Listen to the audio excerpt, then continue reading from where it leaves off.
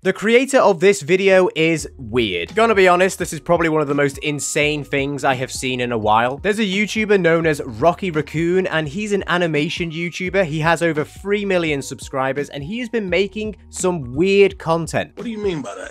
and is uploading it to YouTube where his audience is primarily children, and for some reason has been making content like this. Somebody stop me!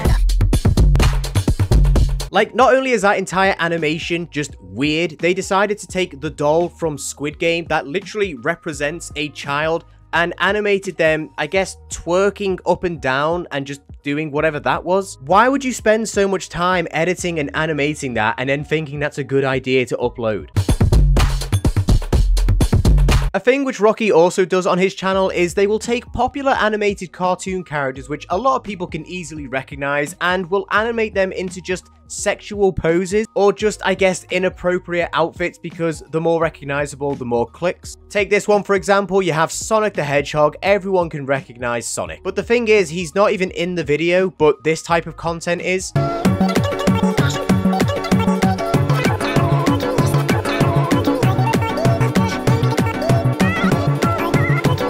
Be real, they probably have lots of fun animating these. This comment is obviously a joke and not actual support, but a lot of people do defend this type of content. Rocky just also hearts or comments even when they're negative because, I don't know, he's kind of dumb maybe? And I don't want to come across like the fun police here, but I mean, this is just weird. You're clearly using a popular character to promote this video with an undertone of sexual content. Hey kitty, how you doing?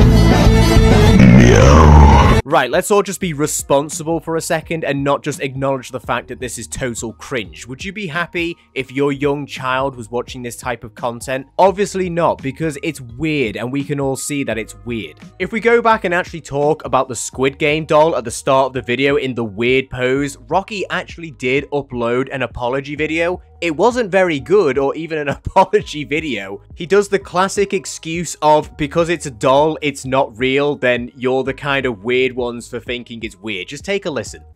So the Squid Game doll was basically doing the Jack-O pose. I actually I have actually made an apology video about this. I did not mean to in any way sexualize the Squid Game doll. I also did not at first, I also did not that the girl was supposed to be a child, and because it's just a doll, it's not a real person, it's just a doll. Yeah, dude, you're the only person in the world who didn't think that the doll from Squid Games was a little girl. Even the English dubbed version is a young girl. Damn it, guys, I guess we're just the stupid ones. We're the uncultured ones. Just because someone draws something which looks like a child, we're obviously the weird ones for thinking that it's a child, when it's actually just animated art. Just because it's drawn or animated doesn't give it this immunity to what it clearly is. Let's give him the benefit of the doubt here. He somehow didn't think it was weird. The whole argument of because it's drawn, etc., and it's not real doesn't suddenly mean it's not what it clearly is. And you saying that we're the weird ones for thinking that doesn't really back your case. In fact, it just makes you look worse. So, the Squid Game doll, so I did not, at first I did not know the Squid Game doll was supposed to be a child.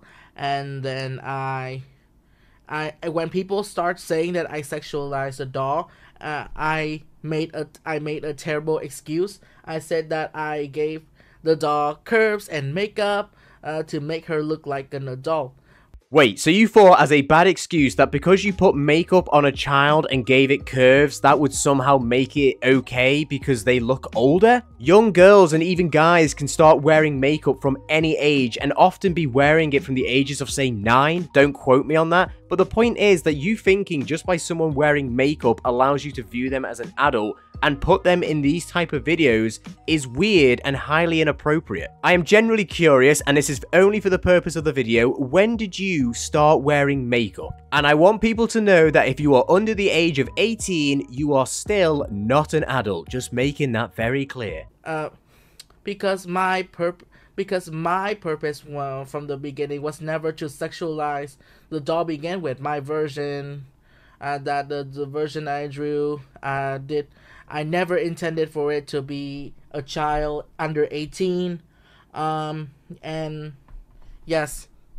So the Squid Game doll thing, yeah, that's basically it.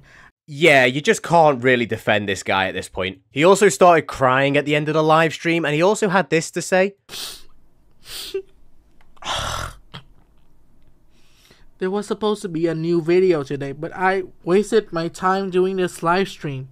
I was supposed to be making a a new video today, but I I just couldn't do it. I did not have the time. I had to focus all my energy into responding to all the allegations. I mean, yeah, dude, if I had allegations against me being weird towards kids, I think clearing up those allegations would be more important than a video making content which is causing those allegations. But the crying actually gets worse. I suppose that some of you don't want to be my supporters anymore. And I understand that. To be honest, I don't really know how anyone who makes this type of content has supporters, and if you need to know why you're losing your supporters, it's because of content like this. Act like a poppy, smack my もう!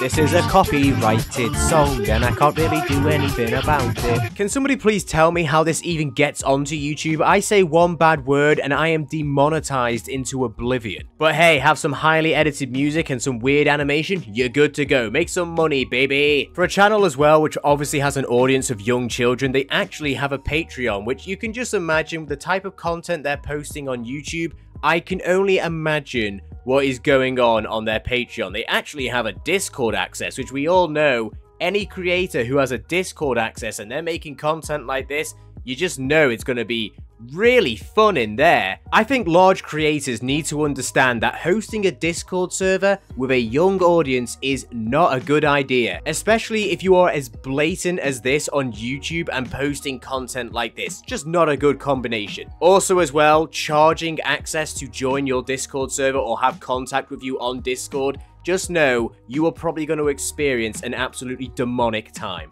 Oh, actually, Rocky Rakoon's head Discord admin actually posted a full Google Exposed document on his Discord server. They didn't want to be associated with a server that would have people calling them PDF files. Yeah, that's uh, that's understandable. They go on to talk about how they've known Rocky for years and he's always been weird and go on to talk about how people would join and just post content beginning with L, if you know, you know, and nothing would be done about it. I'm not going to show any of this document in the video as I don't want any jump scares. The Discord server, if it's still up, needs shutting down. But that's it for today's video, boys and girls. Let me know what you think about Rocky Rakoon. I would love to see what you say in the comments.